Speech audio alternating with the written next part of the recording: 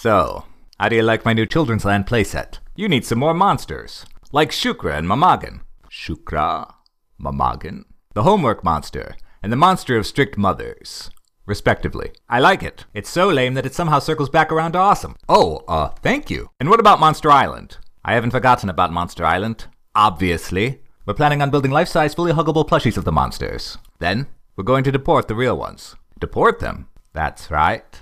To Antarctica. Don't worry, the monsters will love it down there. And they won't be so close as to interfere with our plans. Plans? What action signal tape? What are you accusing me of? Get the out of here before I call security!